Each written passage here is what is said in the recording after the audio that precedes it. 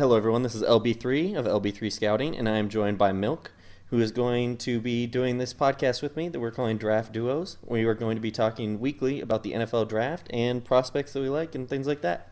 This is the first episode, so we appreciate we will appreciate any feedback that we get, and we hope that you enjoy. So let's uh, get into it. Milk, would you like to introduce yourself? Hello, everyone. My name is Milk. I do a lot of scouting, uh, especially on for the NFL Draft subreddit. Uh, I do a lot of stuff there. I do a lot of scouting reports. I break down a lot of interesting uh, matchups weekly. I started doing that last year. I had a ton of fun with it, so I continued that this year. And uh, I'm uh, I'm glad to be on on the show with you, LB3. I can't wait to talk some football with you. Yeah, I'm really excited too. This is my first experience podcasting, so I'm excited to see how it goes, and I hope that we can keep this up weekly and build a nice little audience. Absolutely, same here. All right, so first off, I thought it would be nice, as this is a draft podcast, to talk about the first week of college football, which just happened this past week, and talk about three. I, I we before we started, I had you pick out three players that you thought stood out in the first week of college football, and I did the same. So how about you start by saying one of your players, and we can uh, just talk about it. All right. So personally, I'm more of a defensive guy myself. I love the defensive side of the football. It uh, it's always fascinated me uh, how teams are able to defend all these crazy concepts that that new coaches and coordinators are throwing out each year. Uh, so I went to the defensive side of the football for my first one, and that is Stanford cornerback Paulson Adebo.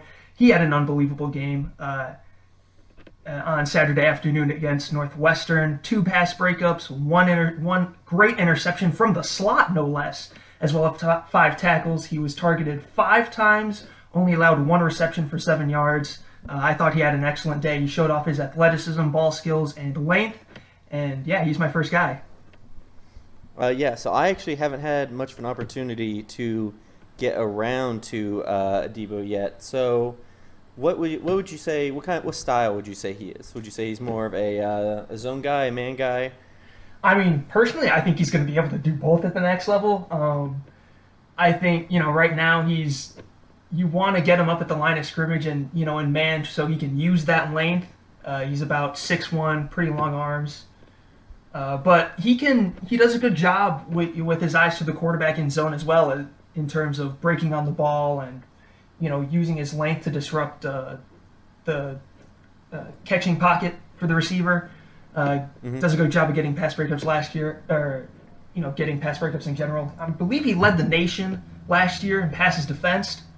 So obviously that kind of tells you what he can do. Stanford had him playing, uh, you know, both man and zone. So he's pretty, you know, he even though he only started was a full time starter last year, he still has some experience in both. So I think at the next level, he can kind of be a do it all guy. And I think what impressed me the most is that he got a pick from the slot uh, on Saturday, where, you know, he's usually a boundary guy, but if he's someone that can play very at a high level in the slot, then all of a sudden he could really become a true shadow your number one guy. Uh, yeah, I would say that uh, that he definitely interests me. I mean, this is a definitely a cornerback class that might bring about uh, a revolution in the pass defense game in the NFL. With like, guy, there's a lot of larger corners that still have plenty of athleticism and plenty of talent. I mean, got Trevon Diggs, Kristian Fulton, uh, Jeffrey Okudah.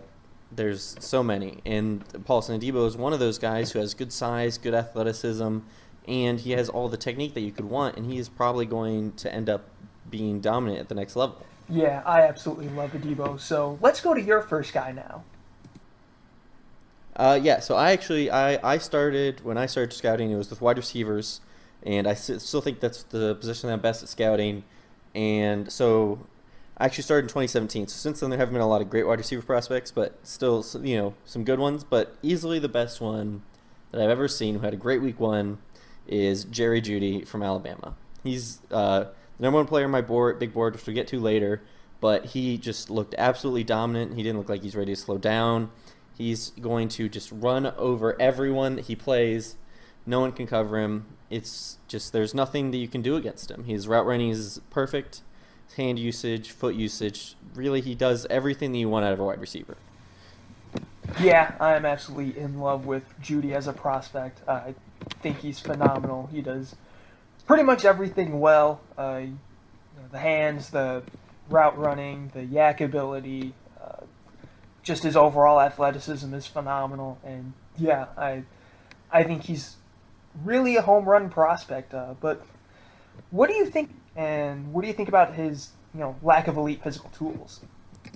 Uh, the thing with Jeudy is that I think that he's going to be good enough athletically, and then I think that he does everything else so insanely well that he can easily make up for all that other stuff. Like he doesn't, he may not be a four-three guy, but he is so good at route running that wide receiver, that cornerbacks are still going to have to slack off ten yards to try and cover him because they can't possibly expect to like stick with him and cover him with his route running because they are going to bite on his double moves. They won't see slants coming.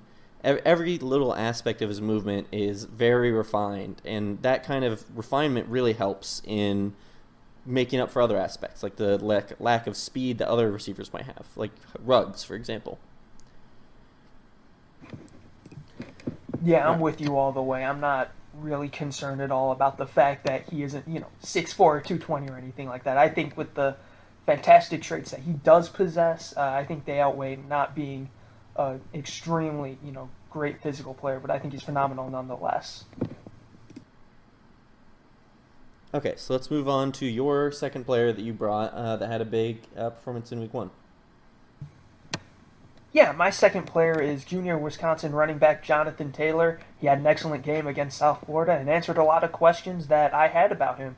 Uh, mainly, the thing that I was most concerned about was Taylor's ball security. Uh, I believe he had two or six fumbles in two years, and he was clean on the night, no fumbles, great job. Uh, he also had two catches for two touchdowns in his game, which I thought was really yeah, impressive. Yeah, his first uh, receiving touchdown of his college career. Very good sign. Exactly. He uh, it looked like he had soft hands. Uh, the coordination was there, and uh, I thought that was really impressive. He also, you know, obviously he showed off the power and the straight line speed, but I was also very impressed by his agility. Uh, he was able to make guys miss in one-on-one situations, and he was able to get a ton of yards after that. I think it was super impressive that he was able to show that he's not just a straight line runner, and that he's going to be able to, you know, not only have the speed to hit home runs, but the agility to make guys miss as well.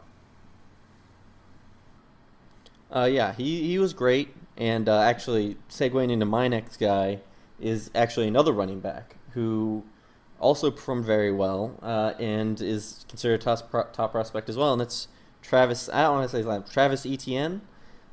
Uh, not exactly sure to say his last name, but the Clemson running back Travis Etienne had a great game he had 17 yards per carry on 12 carries and three touchdowns, and he just looked like his normal self. Obviously, wasn't the best opponent, Georgia Tech, but he he looked like he normally does. He is insanely fast. No other running back in this draft class has a gear like he does. He, he has underrated power for his size and great agility. There's really, uh, unlike Taylor, he actually didn't prove much in the passing game, which is something that I'd like to see him do more. But for a player of his ability, there's not a lot of things that I have questions about. I would I'm excited to see him against some better competition uh, in the, later in the season, and actually I think next week they play Texas A&M, and I highlighted that in my draft video video on my channel because I think that's a good matchup for him, and hopefully he can produce to the normal level that he normally does. So why don't you go ahead and give us your third and final guy that you want to go over? Uh, my third one is Chris Young the Ohio State defensive end. Yeah, Chase Young had an excellent noon against uh, FAU. He was his typical Chase Young self. Chase Young. I don't know why I said Chris Young. Chase Young, sorry. uh, yeah, Chase Young was absolutely crazy. You know, he's there's no other. Uh, I'm just gonna keep using giant hyperbole, but no other defensive end in this class has his combination of size, speed, and power he's just a rare specimen as a defensive end, and he's going to go high in the draft because of that.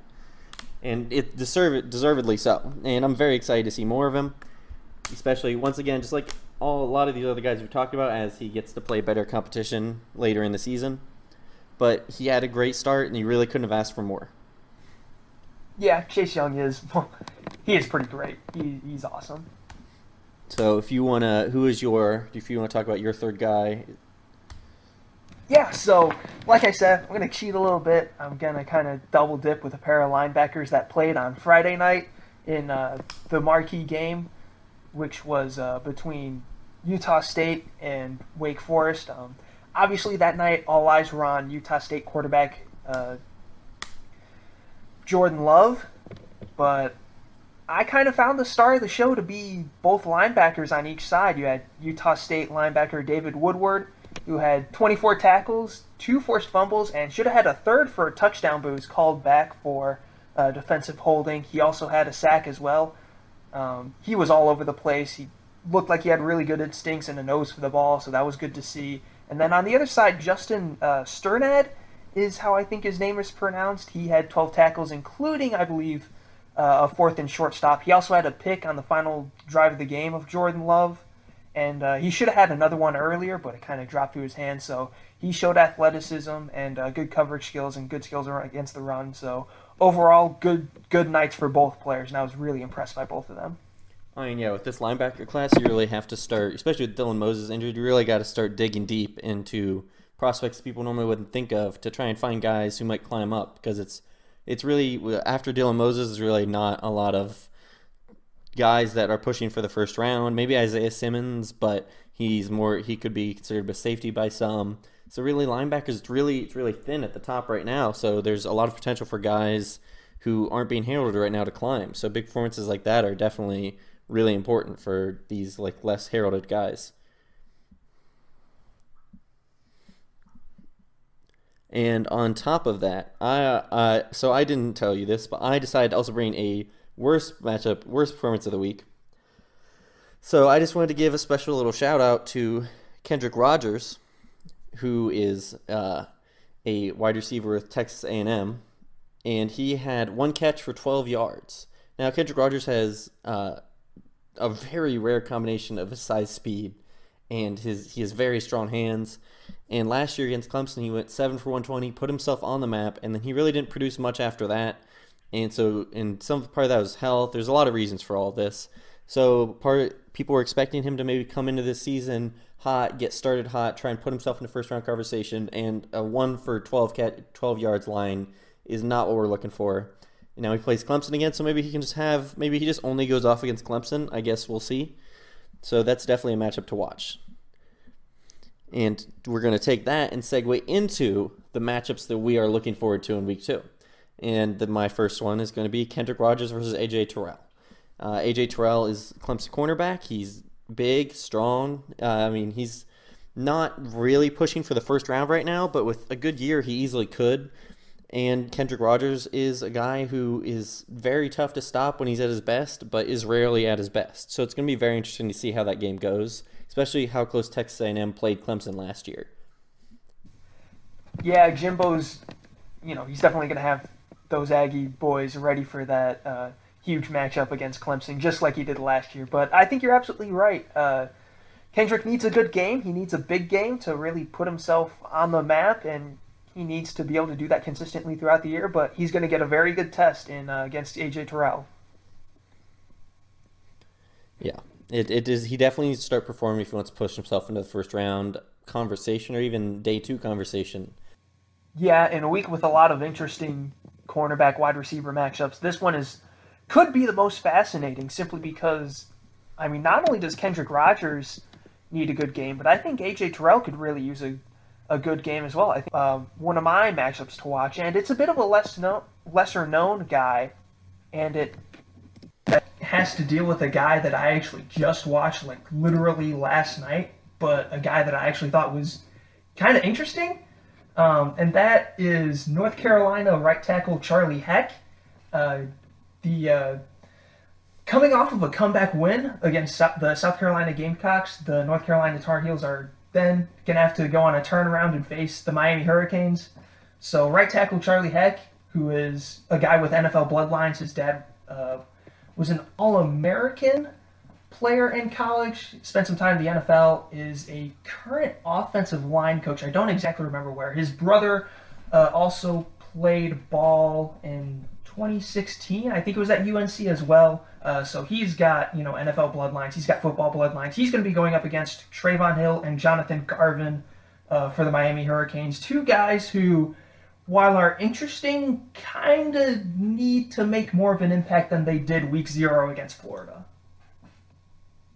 I mean, yeah, they the Miami pass rushers are definitely better than the ones he was facing against in South Carolina.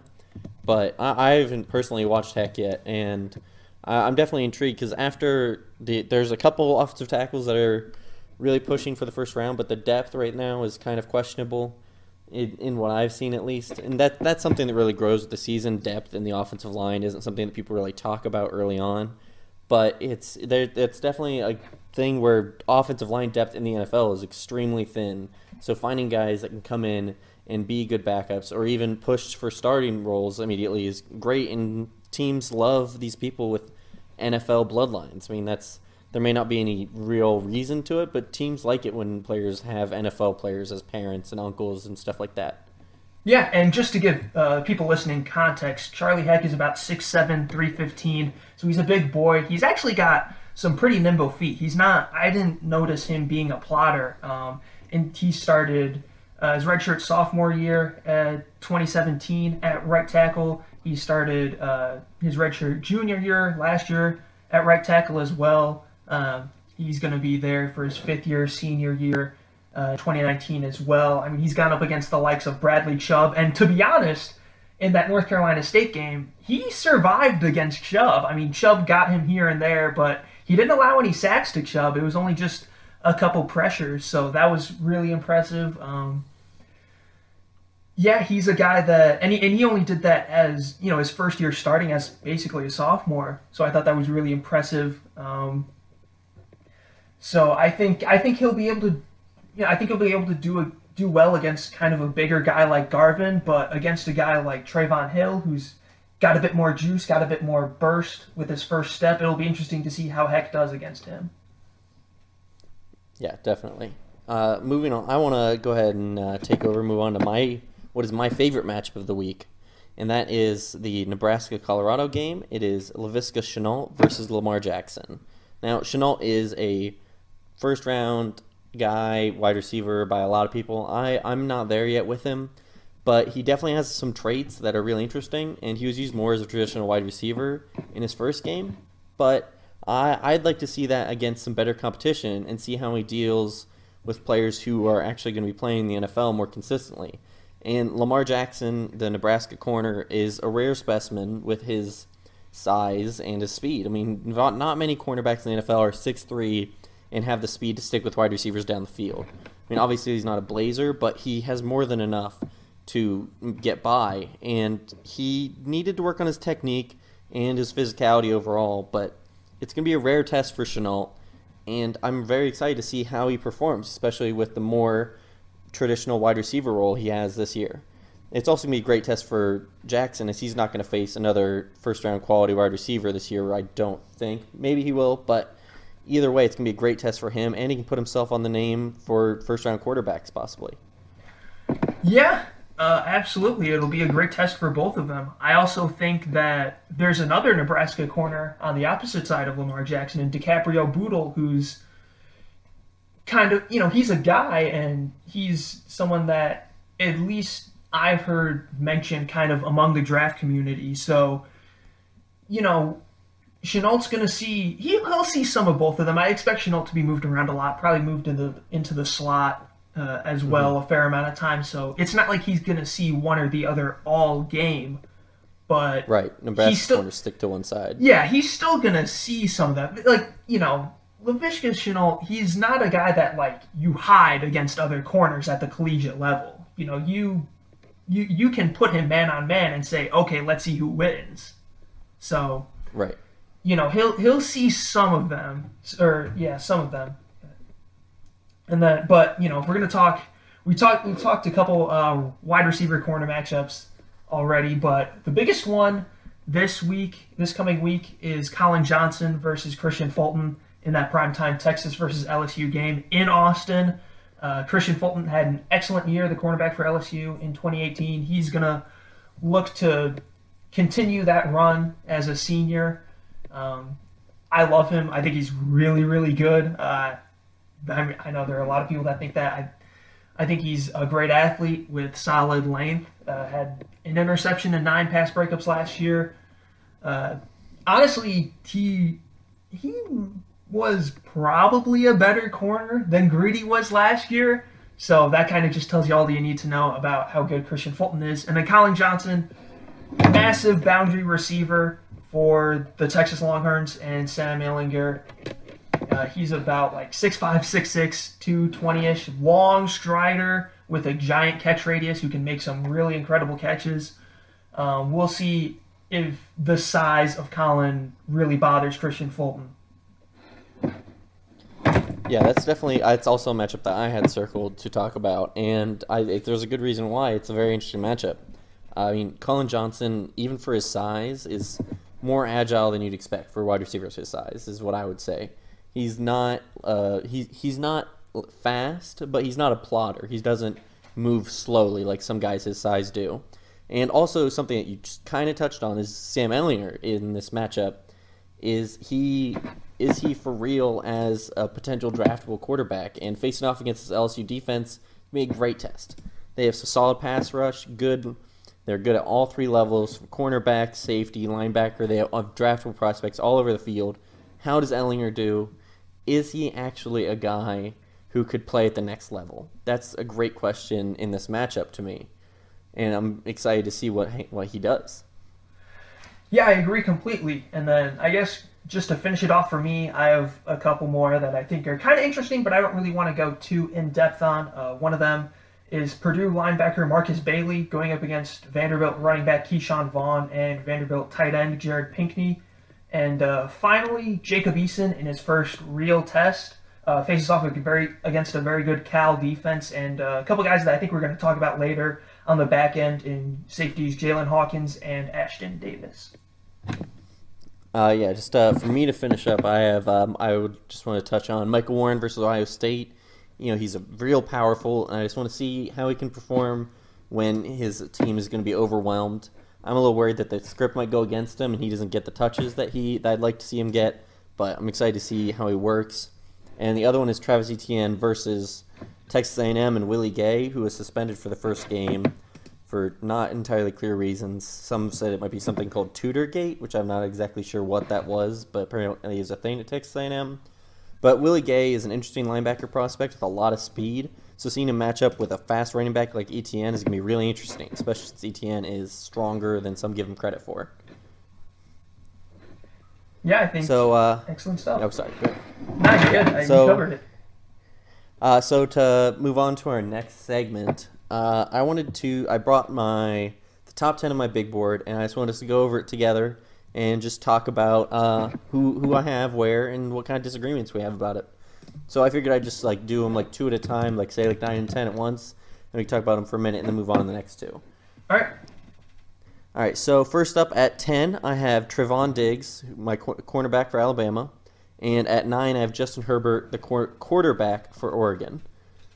So Diggs is my top corner in the class, and as of right now, he's insanely good. He's super fast. He has good ball skills, good techn- technically, and he's got good size to go along with everything else. And then Herbert, he's super inconsistent, but the flashes are insane. He threads a needle down the seam. He runs for 50 yards. There's really he can do anything that you want from a quarterback and and more and it's just he needs to be more consistent. That's his biggest problem more than anything else. Yeah, I, lo- I love those two picks. Um, we'll talk about just my thoughts on get a little bit more into what I think of Justin Herbert a little bit later. But I love that you brought up Trevon Diggs. I think he's a top five cornerback as well, and that's not to say that like. You know, oh, I don't think he's a first rounder. In this class, you've got like five first round corners, and I think Diggs is one of them. So I again I, I love the size. I love the ball skills as a former receiver, and he showed it uh, against Duke. He had a pick. He was one of the guys on my, I guess you could say, short list of uh, standout performers. He had a very good game, and I expect that to continue like the entire season. He probably would have been a you know first rounder, top 50 selection if he didn't get hurt and declared last year but I expect him to perform at a very high level this year. And uh, yeah, I like his I like his inclusion in your top ten. I think it makes sense. Yeah, I think that if he had declared last year, he probably would have been the first cornerback taken. Not entirely clear, but I think that that was a very strong possibility. Uh, and moving on to our next two is actually a double dip at wide receiver. I have Henry Ruggs, the wide receiver for Alabama, and CeeDee Lamb, the wide receiver for Oklahoma. Ruggs is a speed demon. He has, and but he's not just a speed demon like a Brandin Cooks or something like that. He also flashes really good hands, the ability to go up and get the ball. Uh, I really like to see him clean up his route running a little bit more. But overall, there's a lot to like about him and a lot to develop. And Lamb is very had a lot better as a route runner than Ruggs. Maybe not the athlete, but he also flashes crazy good hands, a lot of insane circus catches, and really good route running, especially coming from Oklahoma, where some guys come out really raw as a route runner. Yeah, uh, I I mean this wide receiver class is absolutely insane. So you know, putting putting any you know putting those get those two on on there at kind of a little bit of the back end of the top ten makes a lot of sense. Uh, CeeDee Lamb is a guy that I like, but I don't love on the same level of like a Henry Ruggs or a Jerry Jeudy. Uh, he's just not really the athlete, in my opinion, compared to either of those guys.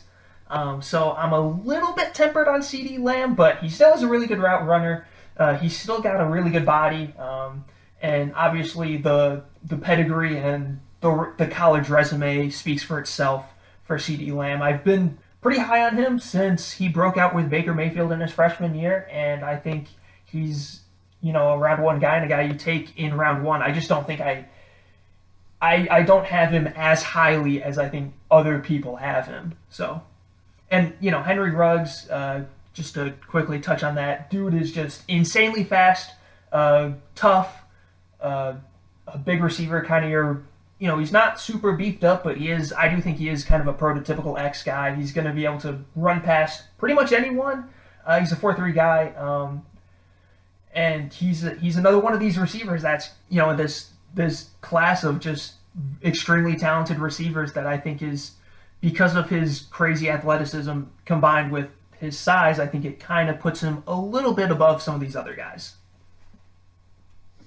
Uh, yeah, that's all. That's I understand your thoughts on Lamb. We disagree a little bit there, but you know, I think that there's a lot of cases to be made for different wide receivers. I'm not as high on Shenault as a lot of people are, and there's still a whole season left to play. Uh, moving on to six and five, we have Andrew Thomas, uh, Georgia offensive tackle at six, and Grant Delpit, the safety for LSU, who we'll talk about more in after this segment. Uh, but Andrew Thomas is a crazy good technical offensive tackle. He has everything that you want. He's got decent size, decent decent athleticism, really good athleticism actually. I think. Uh, obviously, we'll have to wait for the combine to know for sure because like, sometimes for offensive tackles it isn't exactly clear the level that they're athletically. But Thomas looks more than athletic enough, and he shows really good technique for a college player, which is super awesome because it's very hard for NFL teams to develop develop offensive tackles right now. Yeah, uh, Andrew Thomas is my OT1 as well. I think you pretty much hit the nail on the head. Uh, the athleticism, he really, I noticed, he explodes out of his stance. He's super quick out of his stance. It allows him to get hands up early, uh, allows him to win with his hands and his strength.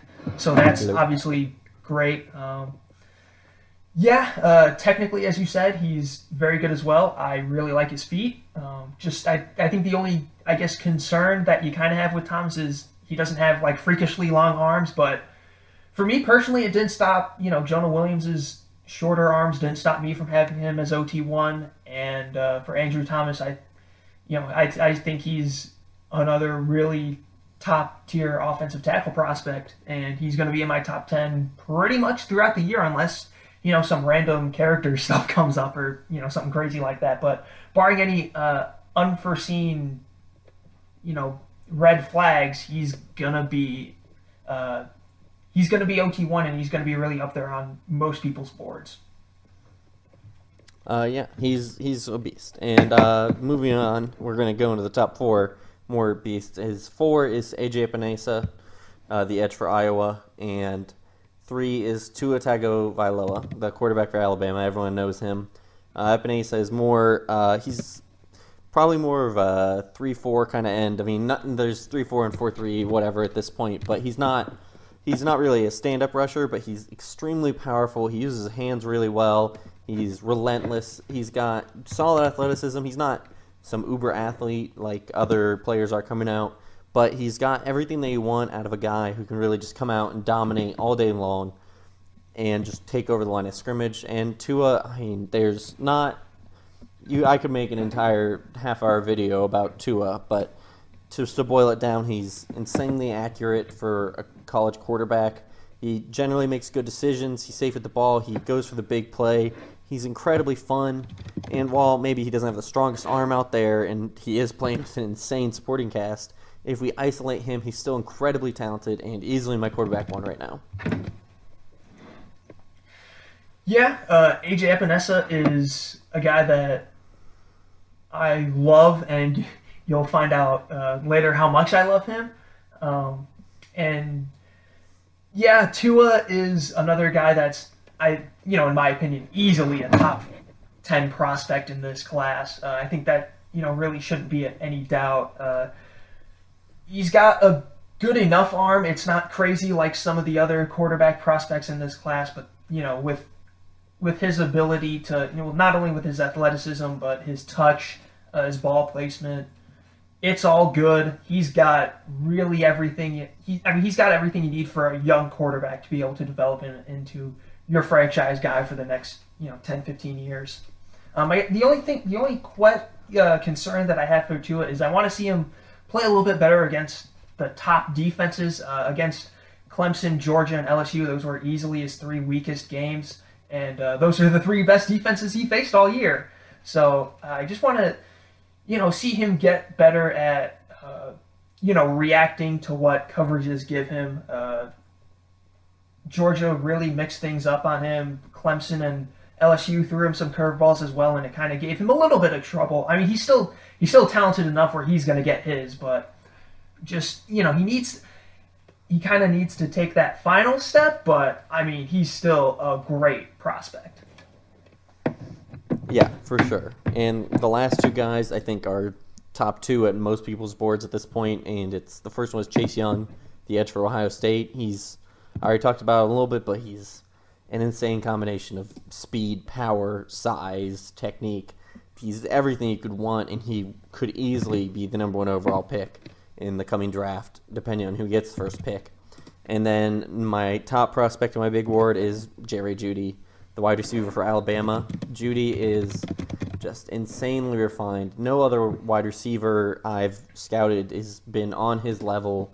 Uh, I've said this in private chats, and I'm going to go out on a limb and say it on the podcast. I think that if Jerry Jeudy was put in the NFL right now, he would be a top five route runner. Obviously, once you get towards that like top 10, 15, it's really close. But I really think that Jeudy, all the little nuances that he does, his movement, it all is so smooth and clean that I don't see how he has much to improve on. I mean, that sounds like a negative thing, but he's just so good at everything that he's going to immediately step in and be a number one wide receiver. He is going to help a quarterback. He's going to be a thousand yard guy right away. Yeah, I think the thing that makes both of these guys so special is that they just they just translate to the NFL immediately. I mean, day one, they are going to be stars in terms of you know Chase Young with all of his physical tools, and even you know he's got really good, he's got some damn good technique as well from what I saw.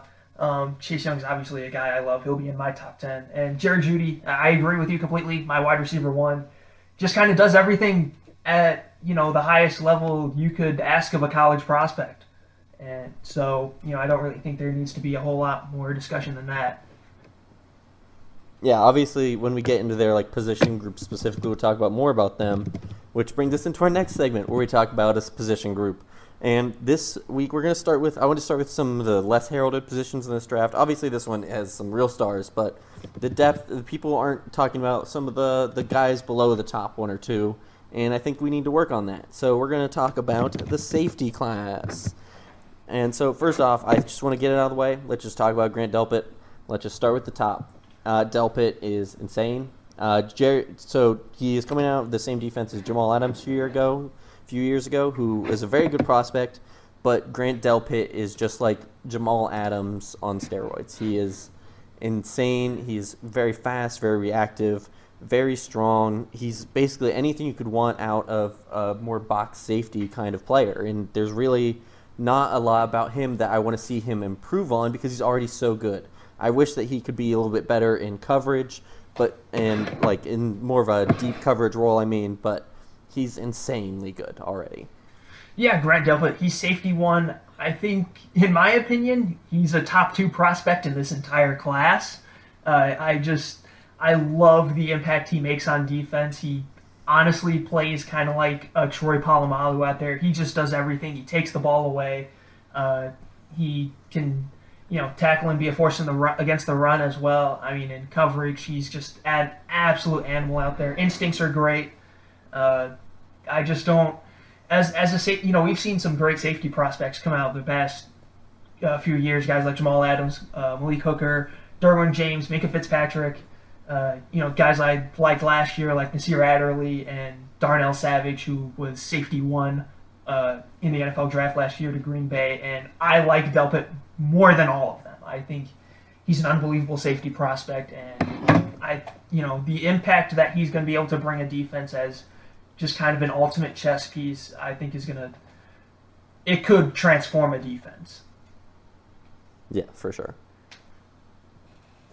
All right, do you have a safety you'd like to bring up next? Uh, well, let's just get the other guy, the other top guy, out of the way. Uh, Xavier McKinney from Alabama. Uh, I think he's a top 15 prospect in this class. I have him dangerously close to the top 10, actually. I really love his game.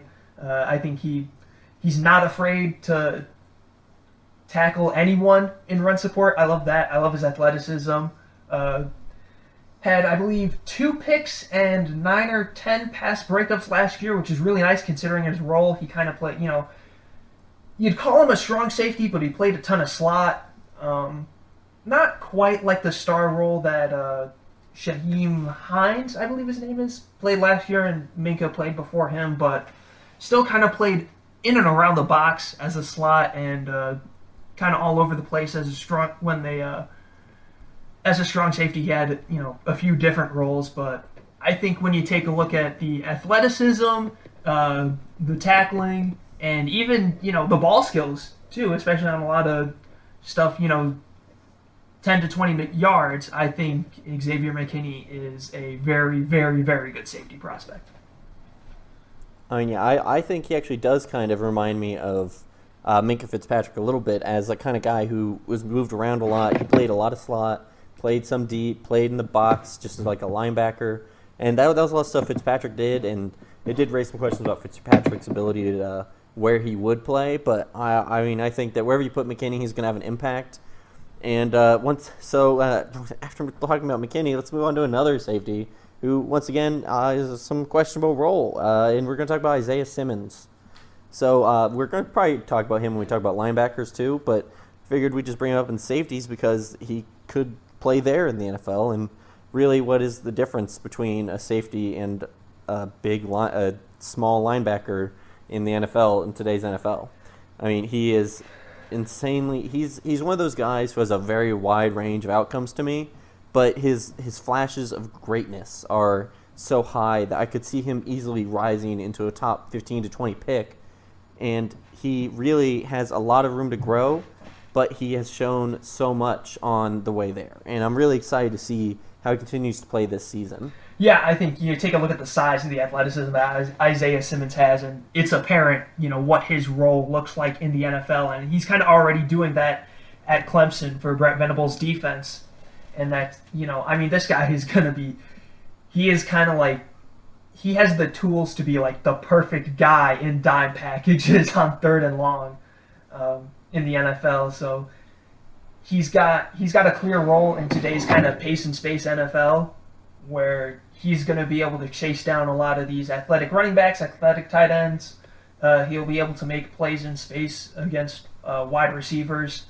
Um, I, you know, you can play. You know, he is kind of like a safety hybrid ish. I think of him more as like a linebacker, even though he'd be like a smaller linebacker, I think you just in today's NFL you just get you kind of can get as many of those as many coverage guys out there as possible, and I think Simmons fits that bill. And you know, even though he's kind of a louder guy, he's got a really good frame. He's got he's he he's not like super lanky or anything, so I think he can hold up as a linebacker in you know like in nickel, in you know on first down or you know maybe second down or you know especially a lot of teams throw on second down nowadays, but you know just in general running situations, I don't think he's a guy that really you know need to take off the field at his peak.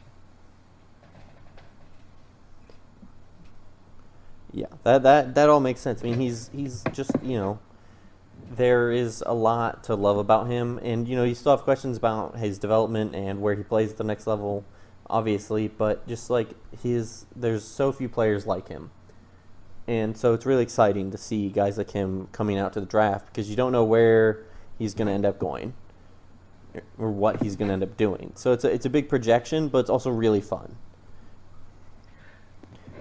All right. So who? Uh, what about you? What? Who would you else would you like? Well, I mentioned them a bit earlier uh, when going through the matchup that we were looking forward to in week two, and that is the pair of Cal Bears safeties, Jaylinn Hawkins and Ashtyn Davis. Both of them are fifth-year seniors. Um, Ashtyn Davis got has gotten a lot of love from Dane Brugler on Twitter, and you know I kind of was like, okay, you know, let's see let's kind of see what Ashtyn Davis is all about. And I kind of get it. I really like Ashtyn Davis. He's a he's more of a true free safety prospect. Um, he's a track guy, so he's super fast. I mean, he's to run at least four fours. Uh, he's he's kind of a burner on the back end for the for the defense.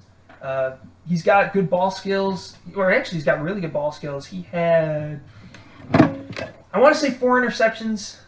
Yeah, he had four interceptions last year uh, I believe five passes defensed. Um, the only, I think, the biggest concern with Davis is he's got a really lanky and slight frame. He's like 6'1", maybe 190. Uh, tackling can be an issue for him at the, you know, it's kind of the last line of defense just because of his size. But I do think he takes good angles to the football. So that's something where maybe kind of, you know, as he bulks up a little bit more, and keeps that speed, he'll be able to be a reliable last line of defense kind of guy. Ashtyn Davis is a guy that I really like. If you haven't checked him out, I highly recommend him. The safety class really, you know, depending on what you think of Isaiah Simmons, this safety class really falls off after Xavier McKinney, and I think Ashtyn Davis has a chance to rise as part of a very good Cal defense. Uh, his partner in crime, uh, Jaylinn Hawkins, he's a bit of a bigger dude. Um, he's, uh, I'd say, probably probably two ten you know, 205, a big 205 to a 210. Uh, he's a guy that I worry about his range, but he's able to play really good. I, I like his ability to play downhill. Um, it's weird because he doesn't really seem that fast, like over top, over the top, and even in, uh, you know, they have uh, both Davis and Hawkins up there. Uh, you know, each with their uh, half half uh, a side of the field. Um, I don't think Hawkins has you know great range, but he's able to really accelerate downhill and make plays that way. Another guy with great ball skills and great hand-eye coordination. Six picks, including three in the bowl game against TCU. Um, he's a thicker guy. He's a, a better tackler than Davis. Um, I think they're both interesting guys to keep an eye on. Uh, yeah, the last the last guy that I want to go over in terms of the safety class is someone who like simultaneously seems to me to be getting like more buzz than is expected and less buzz than is expected, and it's Ohio State safety Jordan Fuller.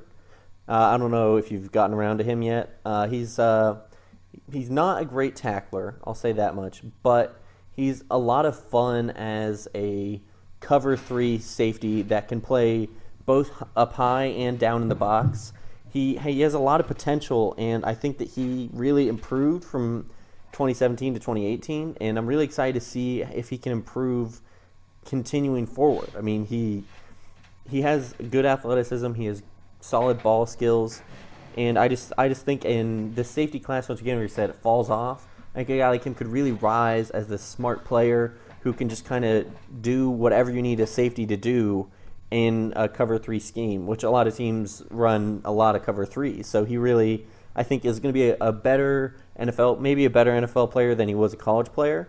And I'm, I'm really excited. I mean, he has he had a lot of tackles for Ohio State, and I expect the same. And hopefully, some more interceptions and some more highlight reel plays. Yeah, Jordan Fuller's a guy that I've never, honestly, I've never really had a solid opinion on. I've seen a lot of him as an Ohio State fan, so I've watched a lot of him in passing, but you know, I, I could never get a concrete handle on them, like it, on him. Like you said, not a great tackler, um, but I think you know I love his athleticism. So I think, or I really like his athleticism. So, you know, I think at least, at the very least, I think he projects well as a special teamer uh, because of just you know his, you know, he has a lot of experience kind of playing at a high level, and I think that's kind of that might be his path to getting playing time early is on special teams because I think teams are going to look at you know how he runs and how fat and the fact that he's a fast kid. They'll be like, okay, you know, mate, we'll develop more of this coverage stuff, and uh, he'll be able to make an impact early on special teams. But yeah, I think he's a guy that projects as a versatile safety that can kind of can can you know become a jack of all trades guy. Um, so the let's see, the last guy that I wanted to talk about is uh, a guy who's going to face off against some some interesting wide receivers next week, and that's Brandon Jones from Texas. Uh, kind of a bigger guy, uh, six foot to six foot one, about two ten or maybe a little bit more than that. He's a bit of a bigger guy. I really, uh, really good athlete. I think you know he's a guy you can play up top, uh, taking you know taking half a half a side. He's not exactly a true center fielder, or at least we haven't seen that because Texas has Caden Sterns and Caden Sterns is awesome. Um, but Brandon Jones is pretty good in his own right. He has the size to tackle, although I think that's you know I don't remember really loving his tackling when I watched him, but I you know, it's something that I think he can be really good at because of his athleticism and his size. Um, I think, you know, as a cover two guy, he has experience kind of, play, you know, playing cover two or cover four. Um, so, and obviously, you know, as an as an underneath guy in cover three or maybe as a robber in cover one, I think there's some potential value there because you know, he's kind of the guy with the size to at least compete against tight ends over the middle. So Brandon Jones is another interesting guy to keep your eye on this year.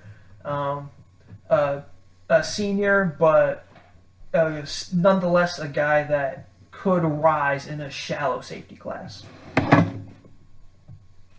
I think that uh, Jones is more of a more of a run defender kind of guy. I I had worries about him athletically moving like being able to stick with wide receivers and stuff like that.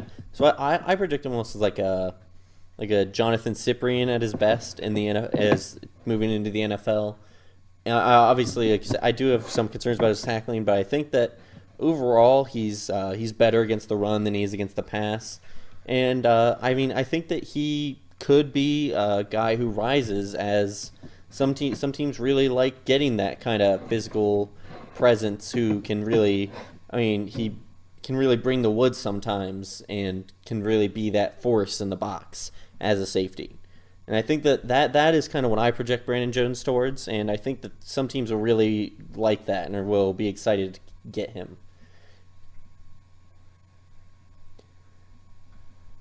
So uh, I believe uh, I believe that that is it for our uh, the debut episode of the Draft Duos podcast. Would you have anything else you'd like uh, to say? No, I think we got off to a good start. We covered a lot of stuff, and uh, it was it was good. I had a lot of fun.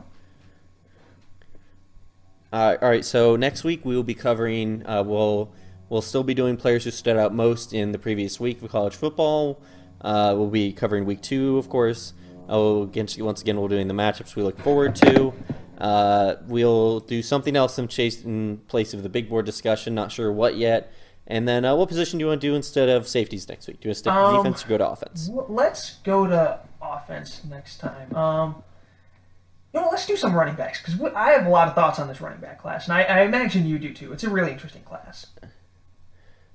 It's uh, I mean, we would have to if we really want to cover the running backs in full, we'd have to dedicate an entire episode to it.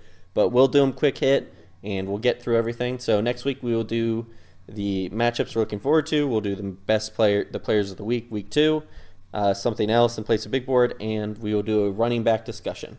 So thank everyone who listened. Uh, I hope you enjoyed. This was the Draft Duos podcast with Milk and LB3. Uh, thank you very much. Uh, I'd love to hear reviews and anything that you thought that you changed. Thank you very much.